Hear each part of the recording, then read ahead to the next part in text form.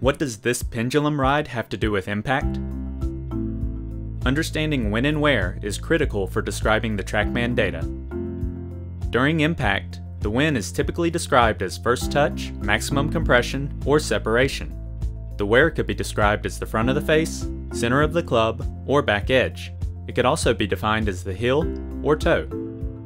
The when and where selected will affect the club delivery measurements. How is that possible? Let's use the pendulum ride to explain. Jack will ride in the front of the ship. We will use him to look at the wind.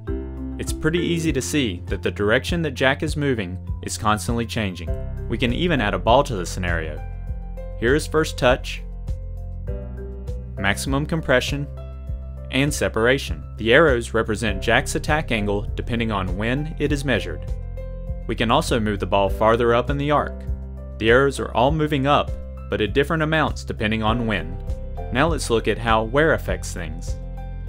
Jack is still in the front, Jill is in the middle, and John is in the back. Even though they are all on the same ship, they are traveling in three different directions because of where they are located. Let's add a ball again to combine the when and the where. Here is first touch, maximum compression, and separation. See how the direction the arrows are pointed vary depending on when it is measured and where it is measured. TrackMan reports club delivery measurements at the time of maximum compression and at the geometric center of the club head.